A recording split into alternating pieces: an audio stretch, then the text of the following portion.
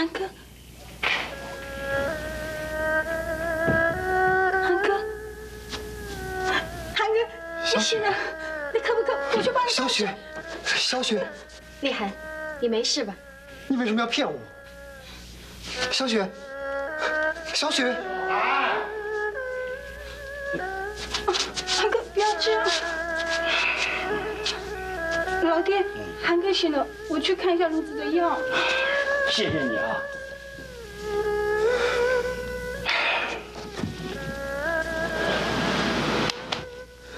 小韩呐，现在落在咱们头上的麻烦事儿啊，是越来越多了。咱们现在是能少一件就少一件小韩，不是爹说翠丫头的不好，可是你看看他爹，不但是个烟鬼啊，还是个贼头。咱们哪那么多的本钱跟他们纠缠呢？真是。爹，您误会了，没事的。我把翠珠只是当妹妹一样看。哎呀，我不管你把她当什么看，反正呢，这里不能再住了。只要我把巩大给找到，把那玉给拿回来，咱们就搬家。什么事这么急？为什么一定要个搬家呢？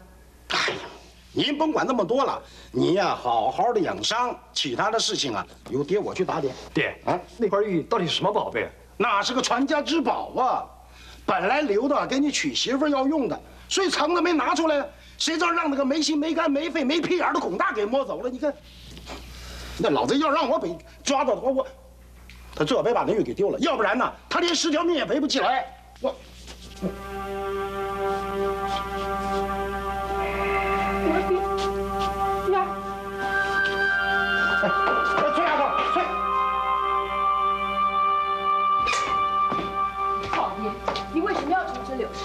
我自有我的道理啊。我不明白，柳师傅找到这些线索，虽然不能够证明那个姓柳的商人跟当年的这件事情有关，但是案子在沉寂这么多年之后，好不容易有了些眉目，我们怎么可以就这么轻易的放弃？咱们童家的事儿用不着外人来插手。哎，柳师傅不是外人，他是亲眼看着咱们童家在一瞬之间变得家破人亡的证人啊！没有谁还比他更清楚当年事情发生的经过。知道事情的经过，并不表示他就知道劫匪是谁呀。如果他知道，那为什么事发之后他不追查？那在这二十年之中，他也没有行动，直到他跟咱们续上，他才开始费心思找来这些证据。这不免让我怀疑他用心安在。老爷，你更甭提啊，他还有那么一个专门惹是生非的徒弟。要不是玉官跟他认识，也不会弄到今天这个地步。更何况，殷小钗啊，就在那小子他娘开的妓院里挂牌。他早就透过铁蛋跟玉官混熟了。默娘，要是让这些人在府里头往来穿梭，只会给咱们添麻烦，不会有任何帮助的。老爷，我看你还有一个重点还没说的。那就是替霍家平反冤情的事，要比寻找自己儿子的下落来的重要。我该没有说错吧？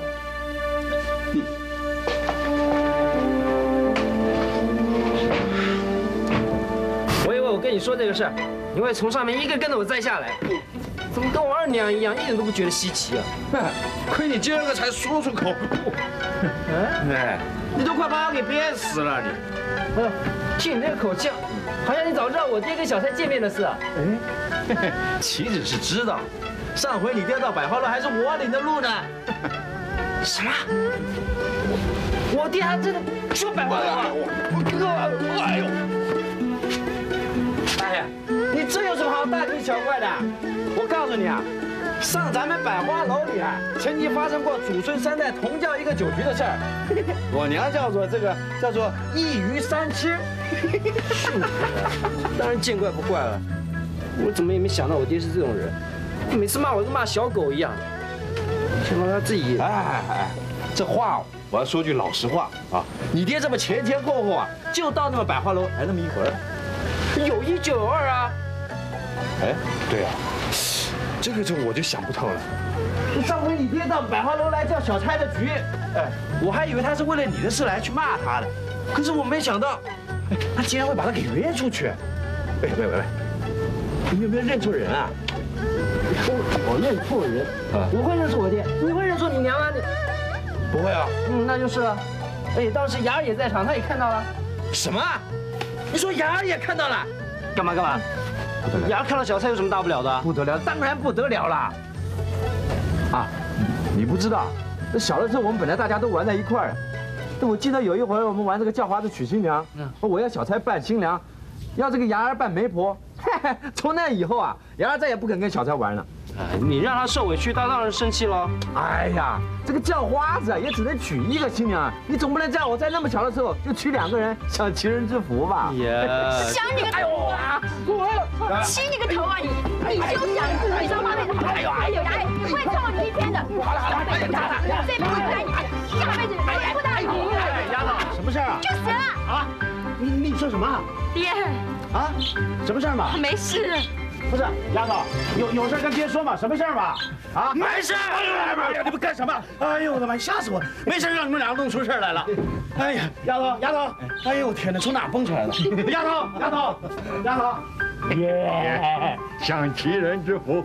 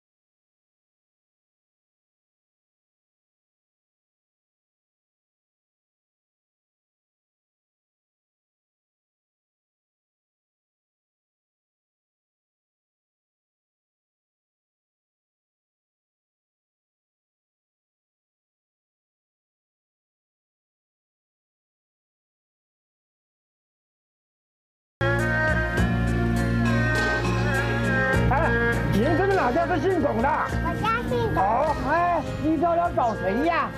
我们是大烟馆派来的。大烟馆派的。你们又来干什么？你们把我老头子怎么样了？哦，您这龚大娘啊，别担心，龚老爹在我们那活得很好，抽大烟都不愁，所以嘛也很难得回来劳您烦心了。你们到底想怎么样嘛？想他死是不是啊？龚大娘啊，不要叫我说，龚老爹这条命值得我们费那么大劲儿吗？不过你女儿翠珠身价可就不同喽。进来！进来，你们小子给我！臭小子，又是你！小子，我们今天没工夫陪你玩，我们在办正事儿。广大娘，快把翠珠交出来！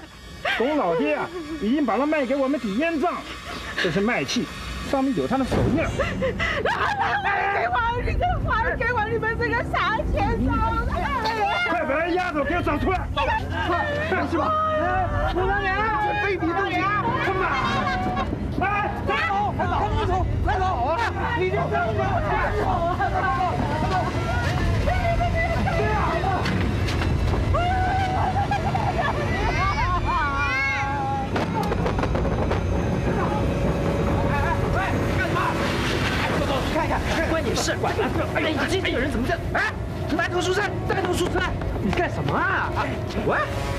谁揍了你啊？哎，你还认得我吗？没工夫跟你说话那个同我还有事了。喂，哎哎哎，喂，到底怎么回事啊？啊？你们刚才有没有看到一位姑娘给人追着走啊？有啊，就在前面。她跑过去了。哎哎哎哎哎，那个人是哪里的？他不是大洋馆派的人，要把那位姑娘带走。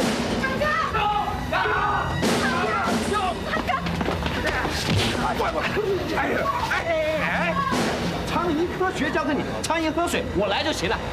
铁蛋，喂，喂，把那姑娘给我放开，然后打你铁爷爷这边绕三圈，你们就可以滚了。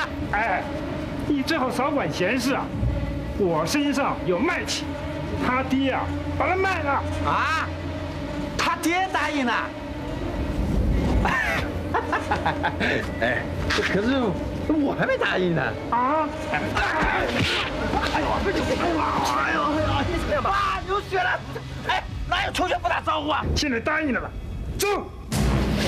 哎，不不不，你要干什么？哎呀，连铁蛋都打不过人家，你去不是鸡蛋碰石头吗？来！来来，铁蛋铁蛋，你干什么？你要去哪里啊？我，哎哎哎，那些人是混哪里的？啊？他们是小妖王庙后街一间大烟馆里的打手。好，蛇有穴，鼠有窝，有的地方好办事，把这些人跑了和尚，跑不了庙。他妈的！哎，你等一下，你等一下。哎，好了好了好了，我们不要去了。哎，你我们去报官好不好？好了好了，走了走了走了。这边，好，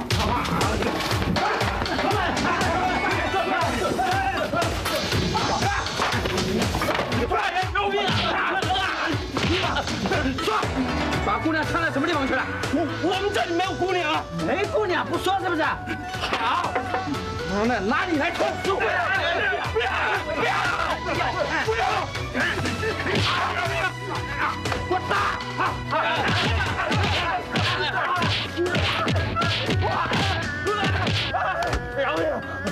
我是狗养的猴子奶大的畜生，不给你点颜色看看，你还当我这个金城小霸王是花银子买来的啊？啊！干嘛的？打呀打呀！怎么打起来了？别打我！打了谁来？就是他们，通刀枪起来！哎呦，我四少爷，这戏都唱完了，你才带人来摆这个谱，你不嫌晚了点吗？有没有找到翠珠啊？啊，没有了。不过我已经把这个烟馆里里外外通通给砸了。你不要吹牛了，招牌挂上那了。招牌，招牌留下来只是为了验明正身，证明我们没有砸错地方。哎，带头出山，是不是就这家？是啊啊，是翠珠她。哎呀，你放心了，有名有姓还怕找不到人吗？小白，嗯，把招牌给我拆下来。好，拆。带走，带走，带走。凡是得到你关照的裤子，都加过这铜钱啊！听到？喂喂，林总，林总！哎，对，官爷，干嘛要住手呢？我们这都是好人呢，这烟馆是个害人地方，为什么不让把这个招牌给拆了？哎，对，没错，就是这铜钱，动了它麻烦就大了。真的，来把这些混子都抓下去！快点，来，你们抓！哎呀，哎哎，官爷，抓错人了，要抓的人在里边。对对对对对，哎，你弄错了，我们都要发誓这个烟馆他是我朋友啊，他是你朋友，那你们是一党的，来，抓下，快点！不对，不对了，这这干什么？这干什么？这间烟馆嘛，挂挂钩了，挂钩！哈，哎呦，你好大的胆子啊！你跟你讲，抓猫抓狗不要紧啊，你们竟敢连同事少爷都敢抓！你知道他爹是谁吗？他爹就是那个，哎呦哇，哎呦哇，还有是什么大官呢？没听过。哼，带走，走，走，走！我跟你讲啊，我们带我走你们后面。您老从来叫主哼，这回可好了哈，咱们跟这个牢房还真有缘了哈，这回大家都成了回锅肉了。谁说三人行必有我师焉？我看到三人行必有祸害。嗯，是什么？这次都是我连的你们。哎呦，带头书生，你这样说就不对了啊！甭说呢，今天这是你的麻烦，要是换了别人麻烦，给咱们兄弟碰到了，咱们也不能蒙着眼让他过去啊，你说对不对？哎，对啊，跟自己过不去。有什么？那我的意思是，路见不平拔刀相助嘛。哎，对对对对，就这句话，路见不平拔刀相助。嗯，死伤无数。喂，你说什么呀啊？你说什么你？啊啊没有，我什么都没说，好吧？好了，你们不要吵。这可恨这天下太多不平之事，太多不义之人。还有那不义的那哪还叫人呐？那简直叫叫人渣！哎啊，人渣就是那些专为非法勾当护盘的贪官污吏。嗯，这俗话说得好啊，无贪不官，无奸不商嘛。哎，哎哎，这话什么意思啊？你在骂我爹还是骂你娘啊？你说清楚啊 你！你亏你还记得，你还有个官爹呢。你少来怄我了，谁不想早点离开这鸟笼子啊？要是再让我爹知道，我真的死定了！我死定了！你放心好了，你是你们家的命根子，你死不掉的。再说咱们今儿个是行善积德做好事，怕谁知道啊？真是！喂！哎喂！哎，你要干什么你？我我干什么？我看牢头换班没有？要是换个熟面孔，我好打点打点。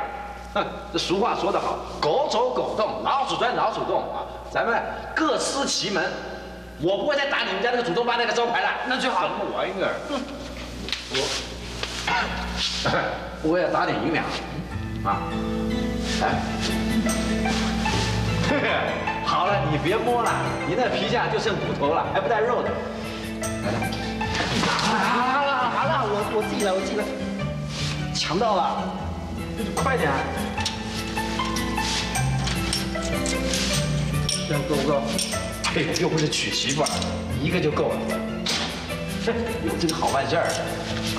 喂，老头大哥！哎，老头大哥！老头大哥！哎，还真你属狗呢。哎，老头大哥，来一点十九钱，不成敬意。哎，来收下。放行。哎呦，哎呦，哎呀，孩子，上头我已经交代过了，把门打开。是。看了看了，我说了，有救了，真的有救，咱还省一个大洋钱啊！开开开开！佟大人，哎，这来的早不是来的巧啊！咱们送这边衙役的钱真是受够了。你啊？哦对，他是你爹，来。嗯，爹。我爱你这个儿子！哎，你官至民罪，也应该给民一个申诉的机会，更何况是对自己的儿子，为什么连一个开口说话的机会也不给？放肆！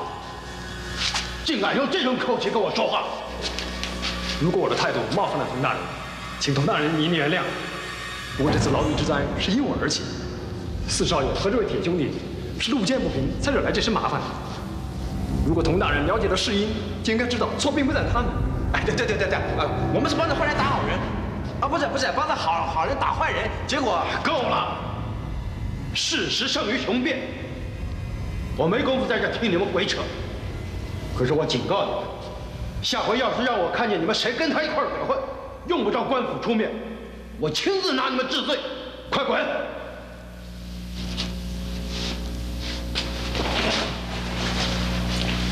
果然是事实胜于雄辩。事实就是，为官的只关心自己子女的平安富贵，对民间百姓的疾苦可以不闻不问。事实就是，为官的公然包庇烟管毒枭，任凭他们荼毒百姓，残害民家。白头书生，你少说两句吧，咱们才刚出来，你不要又进去了。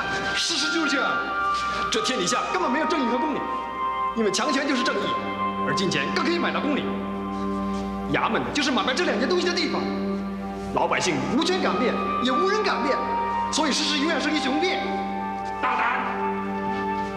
哎，走！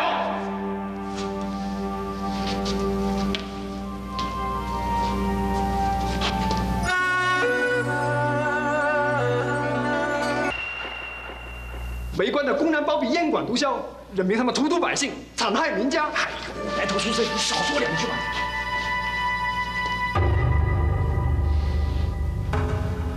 嘛。把他们放。是。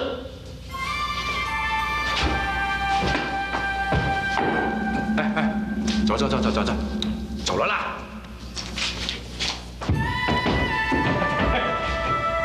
老天爷，我九姨娘这一辈子一只蟑螂蚂蚁我都舍不得害死，我不应该有这样的报应啊！喂，嗨，你们几个跟蛐蛐一样，今儿在干什么？铁蛋，你还活着？呸呸呸呸！我活得好好的，你蹙眉头干什么？嗯，你好，九姨娘可不好呢。我我娘怎么了？呼天抢地哭了一个下午，以为你啊我我怎么？没了。屁了！放你个狗臭屁！走走走走走走。客人们走开！娘，这个你铁蛋回来了，我我进开门去。娘，哎呀，娘娘，哎哎，你怎么在这儿？哎哎呦哎呦，不娘你你不不不要伤心了好不好？你你你不，哎呀，都是你，你你不不，你这没心没肝没肺没天良的东西，你何苦这么坑我害我呀你呀？我被你搞惨了我。九姨娘，你不要这样子好不好嘛？我九姨娘这一辈子从来不相信男人的话，我偏偏瞎了个狗眼，我为什么要听你的话呀？让你那张狗嘴耍得我团团转，你害得我是人财两失啊！你这这这这这这这九姨娘，你你你说话要凭良心，我我我人也给你了，你呸！你他妈的以为人值多少钱呢？那十房才是我的命呢！你把我的私房还给我！你把我的私房还给我！你你还给我！哎呦，我九姨娘，你你要凭良心嘛，你不要强人所难嘛，你你这个混蛋啊！楼子里那么多姑娘你不玩，你偏偏玩我娘！哎，你还上了报纸打呀！我打打打！我说好了，铁蛋娘，你还帮他？就这种货色，你干什么？你当你老娘真的瞎了眼了，被他劫财骗色了？我天呀，我怎么这么倒霉嘛？你滚吧你！哎呦，真的。好了，哎呀，这是我真要养小白脸，我谁不好养啊？我养他呀！小子们，我现在走的这条路你们看清楚了，将来就是你们走的路，到时候笑也不嫌迟。出去，滚出去！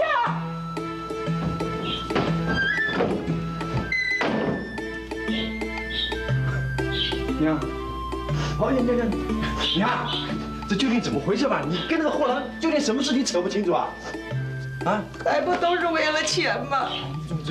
哎，我这手头啊有点私房，我看放在那儿生煤不生钱的，偏偏在这个时候啊，刚好就碰到这个货头子，他引了门生意来找我，我一算呢，挺有赚头啊，干脆一不做二不休，我就顶了一半的份子。本来我的意思呢是想把它做好了，将来交给你，让你有个那正事儿干干。可是谁知道啊，才分了一次红，就让人家给砸了呀！娘，我看你是给人家骗了。哎呀，这年头那个臭贩子生意哪那么好做？还不是都那些靠嘴皮子吃饭、想出来骗人的勾当？可是刚开始很好啊，就是今天。哎，都是这样的，所以第一个月好，第二个月少，第三个月跑。哎，我听多了。哎，可是我，哎，呀，想开一点嘛，你就当破财消灾。好在你老本还在，这钱我们再赚就是了。嗯，你说的倒容易啊，我那私房不在少数啊。哎，到底什么生意啊？下了多少本？我下了。哎，算了，甭提了，那一提那心就全揪在一块儿了。哎，光是这个百日摘了招牌呀，就只是有出无入了。现在平白无故的又让我血本无归，老天爷，我犯了哪一条哪一戒呀？我真是。啊，不提不提不提，我们不提那伤心事，咱们说点开心的嘛。哪来有什么开心的好说呀？有啊，你看，我今儿个在大牢里碰到四少爷他爹了。什么？你又让人抓到大牢里去了？娘，你别紧张，是好事儿，要不然我现在也不会坐在这边啊。大牢里头还有好事儿？嗯，哎，娘是这样的，我今天跟四少爷啊去帮一个朋友救人，哼。我就带着那一票兄弟到那个小药王庙后街啊，去把那个害人家大洋馆给砸了。虽然我们被官兵给抓到大牢里去，可是四少爷他爹啊却把我们给保出去。这临走的时候，陈大人还对我点点头说：“嗯，好，你干得好。”喂，娘，你还真是干得好啊！你这个小畜生，你在干什么？娘，小畜生啊！娘啊，那别人给你点点头，你就高兴了是不是？那老娘给你磕头行不行？我给你磕个头，你饶了我行不行啊？你疯了！你我疯了是啊，我就是疯了。你知不知道那小药王后面那大烟馆大老板是谁啊？我哪知道啊？就是你的老娘我呀！啊，娘，我我这一辈子我真是栽在你手里了，我我我真的是我我没指望了，我呀，我娘，别别娘，使不得使不得，娘娘娘，哎呦，啊！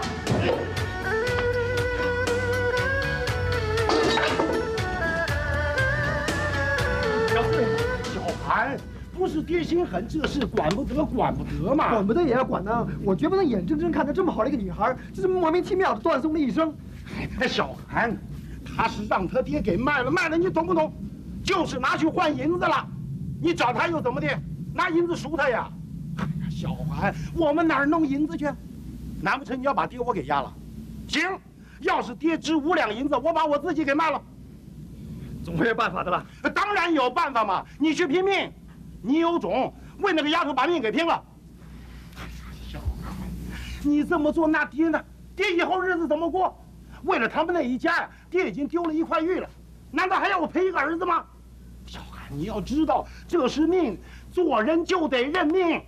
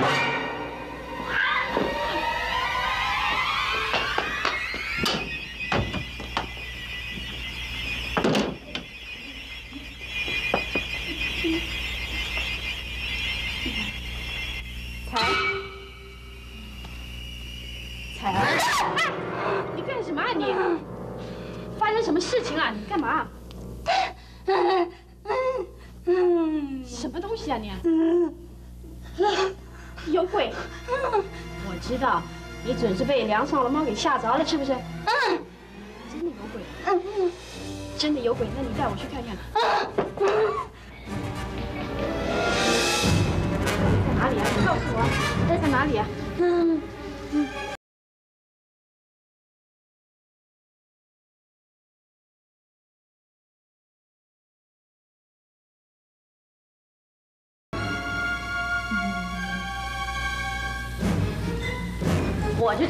胡说八道，什么东西都没有。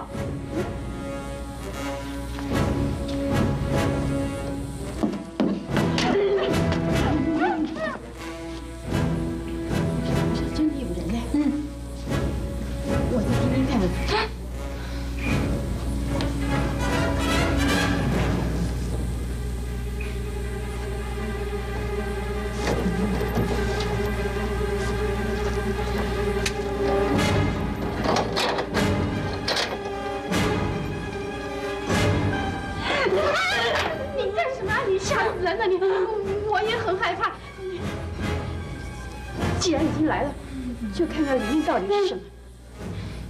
你不要吓我。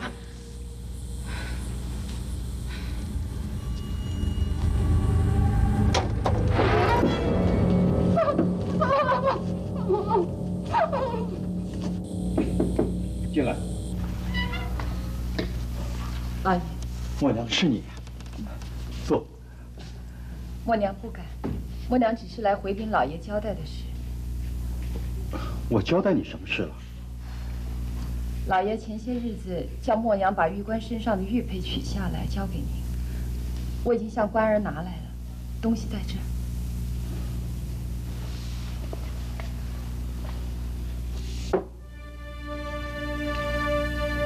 老爷如果没别的事，那我先回房。默娘，你还在怪我？默娘不敢。你觉得我对找寻童家骨肉的事儿毫不关心是吗？我没有这个意思。你知道我为什么要你把这块玉佩从关儿身上拿回来吗？想必是物归原主了。你是说还给殷小钗？我倒没有这样想。即便是有一天要物归原主，那也要四块玉凑齐了，才能算是完璧归赵。所以老爷就认为完璧归赵的事，要比咱们童家的孩子认主归宗来的重要。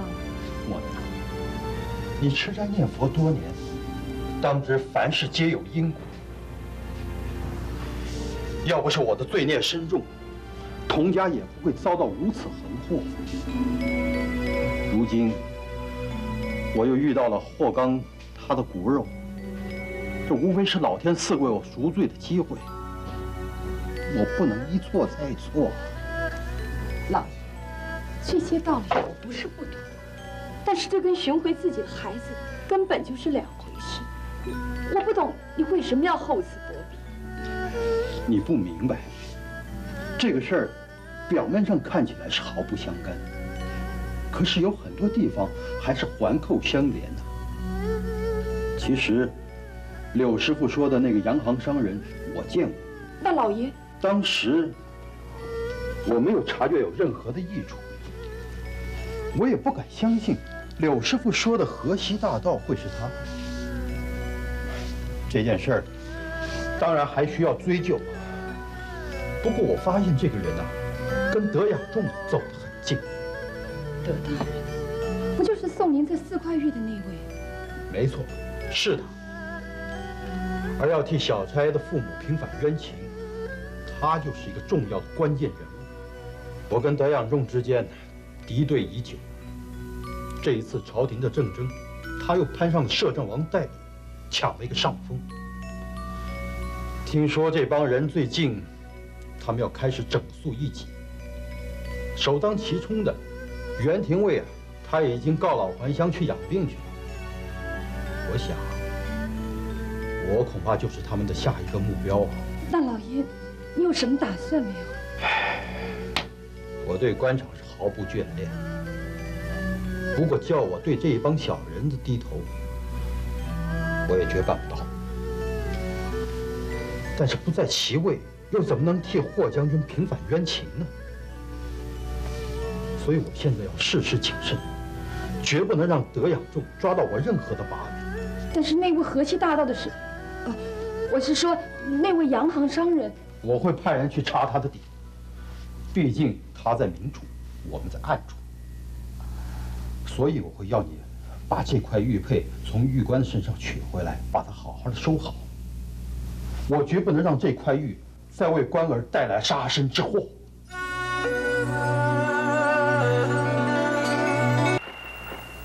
哎，哎，快快快快快！哎呦，可以可以可以可以可以啊！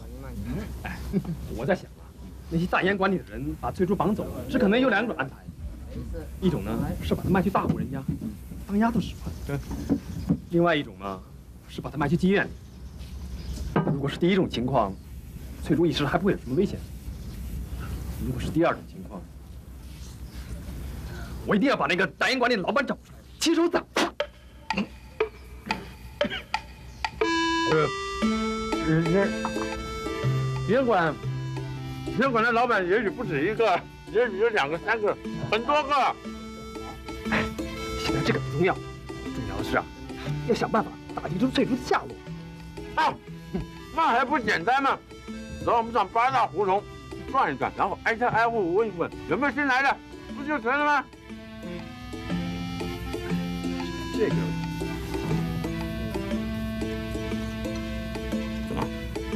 啊，我知道了，没去过那种地方是不是？哎，呆头畜生，这回你可找对人了。平常我铁蛋走大街小巷都还要睁着眼睛看，我逛八大胡同，我蒙着眼睛我都可以带你进进出出啊！来，快吃快吃，跟我一起，吃完我们走了，快！快点！大爷，那就麻烦你了。要是碰到类似我讲的那女孩，你就马上来通知我。谢谢你了啊！哈哈。来来，我这边看看。田仁哥，那谁要来玩呢？快，胡说八道！来这边。哎，凤姐，凤姐啊，谢谢凤姐，谢谢。哎呀，不要灰心了，我再带你到别的地方去找。走走走走。大哥，大什么大哥？要叫铁哥，还会下蛋的鸽子呢。哎，对，最近有没有新来的姑娘啊？哎，有没有？哥，好骗！你又喜新厌旧啦？难道你没有听人家讲这姜是老的啦？老姜果吗，够味儿啊！啊，没时间给你泡蘑菇，我在办正事儿。到底有没有？哎，算算算，有没有？没啦没啦，没了，就就走开了。咱们走，咱们走。他走他走，你留下来啊！放开放开，不要乱来嘛！哦，你知不知道人家是大学堂的学生，不懂咱们这套。不懂这套怎么行啊？那你可要绝子绝孙了我哦！我我绝你个头来！我绝绝，走开！这些娘们儿啊，为了抢生意啊，什么花招她都想得出来。不过见怪不怪，看多了就习惯了。可是他们也是父母生养的孩子，为什么会沦落到这种地步？难道他们像翠珠一样？别别别别，呆头鼠仔，不能想，不能想啊！咱们只能救翠珠，救不了众生啊！你现在想了也等于白想。走，我再带你到别的地方去看看。走。哎，那边还有一家，我们过去看看。呃，那那家，那家不能去。走，为什么？哎，呃，那家听说你进去了，衣服不被扒光啊，是出不来的。走走走走走，走了走了。慢些走，慢些走，客官，马上鞋子。慢些走。不要不要不要不要，就这个价钱，就这个价钱。你专点，你专专点，我就给你。哎呀，专一点。包子燃油。这就没有公道！你个老崔把鱼还给我！哎，哎哎哎哎哎，公子，你别跑！怎么搞的？哎，老师，哎，老师！啊！你跑，滚蛋！你把鱼还给我，还给我！你王八蛋！了抽大烟，逼死了你老婆，卖了你女儿，俺多亏平常对你。你竟然连我这个家长也偷，还给我玉！混蛋！要这些东西还我玉！还我！你不要跑！哎，别跑！别跑！别跑！你还我的玉！别跑！打架了！这里有人打架！哎，那不是我爹吗？还催促他爹，快过去看看！你不要打了吧你！不要打了！拿手，拿手，别打！拿手打！啊！是我怎么样？哎，戴头师，他就是你爹啊！你们认识啊？当然认识啊！上回在那个赌场里面，我我不不不不不要说那么多，我先把这狗拖回去再说。爹，豆腐当着呢？哎，在那边帮我拿回去。你起来呀，你这！哎喂喂喂，他真的是你爹吗？是啊，是。奇怪了，一个黑脸，一个白脸，就好像一个广东，一个广西，不但不像，而且啊，简直差远了。哎呦！哎呦！快点，走！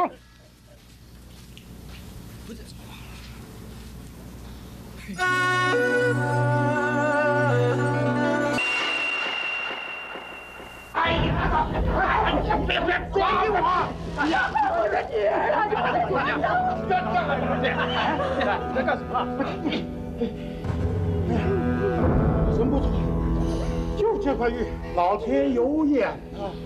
这玉该是谁的就给谁。哎，嗨，这不是上回我卖给你那块玉吗？关你什么事儿啊你？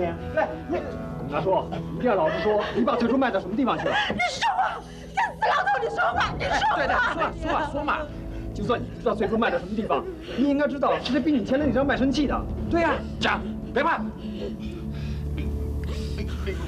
霍兰李三儿嘛，你该死你，该死你！薛师傅，这是五块钱现大洋，就算是谢谢您这么些年来呀、在我们百花楼里头教这些姑娘唱戏、拉胡琴儿的一点心意，您就收下吧。您这是？薛师傅，我现在真是一肚子的苦水，我我不打一处来，一言难尽呢。这外人看到的百花楼仅是风光的一面，可是我们百花楼另外一面，我想也只有屈师傅你心里头明白。唉，这么些年来呀，我可是一滴眼泪一滴血汗的在苦撑着。不过这撑呢，有撑得下去的时候，也有撑不下去的时候。这会儿要不是因为撑不下去了，我也舍不得你走啊。嗯，会不会这是？这个月班子我实在是供不下去了，我自个儿找不到活路也就算了，我总不能挡了您的财路，您说是不是？哎，我跟您这么多年，您只知道我哪有什么财路啊？哎呦，徐师傅啊，这一点您就不用客气了。想当年广和楼第一把交椅的胡琴儿，您到哪儿也混得了饭吃啊。比起我们这些哪儿都动不了的人呐，您强多了。这五块钱大洋啊，好歹呢你能过一段时间。我将来要是有好日子过，我是不会忘了你的。我这会儿还有事，就不留您了。您慢走啊！我有空来看您呢。回来，随时回来，这就好像你家里头一样，随时回来看看啊。有空来看您，有空来看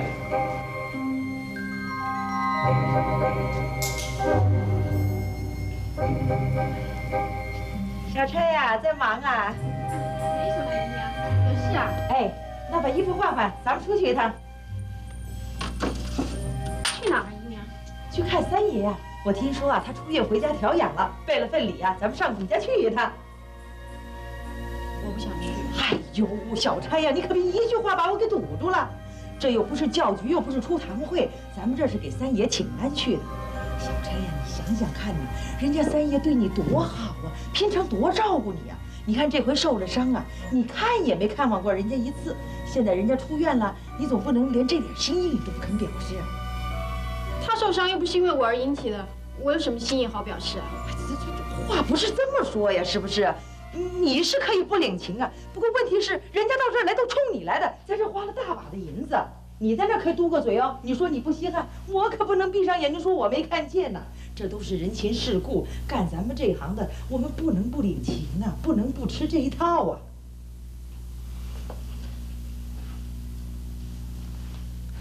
这怎么了？好像每个人都认为我应该跟人家磕头作揖，我是命里犯贱还是怎么的？要不是这个楼子快撑不下去了，我我一个人垮了我也就认了。这说老一楼子姑娘等着我给饭吃呢，他他们日子该怎么过啊？你你你要不是为了他们，我我干嘛拉着个老脸我去巴结人家三爷啊？你不要以为只有你在那讲骨气呀、换成二十年前的我呀，我端的比天还要高。可是我端得了一时，我端得了一世吗？姨娘，姨娘，你一定要我去见三爷，我答应你就是了嘛。啊好。哎，不过，姨娘你也要答应我一件事。哎呦，没问题，没问题，只要你肯上谷家去一趟，别说是一件事啊，一百件事都行，我都依着你，什么事儿？小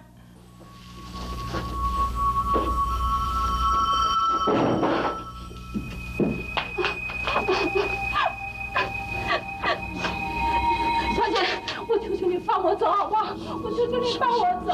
啊！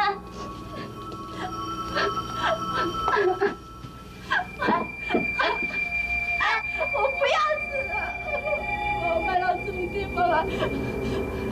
我宁愿去死，我不要死，我不要死！你放我回去啊！你这是跟我谈条件了？就算我代他向你求个情，姨娘，你把他给放了吧。这件事我不能依你。姨娘，你明知道他是被债主逼得绑到这儿来的，不是他自己心甘情愿来的。干咱们这行有谁是心甘情愿的？你吗？没错，以往到我这儿来的姑娘一定要自个儿认命，我才会收留。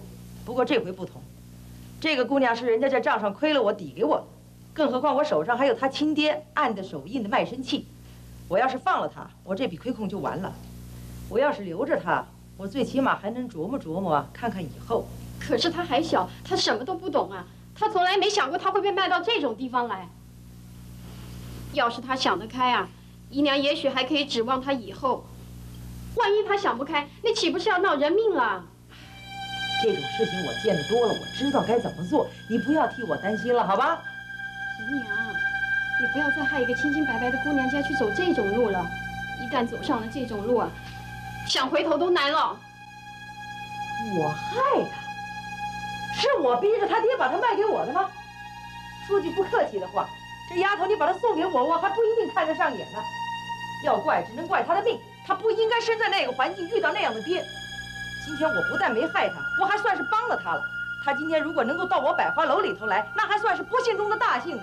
能够跟在我的身边，让我好好调教调教她，最起码她还能学会一套怎么样应付男人，不受他们的摆布。清清白白。这天底下只要还有男人活着，女人一辈子就别想清白。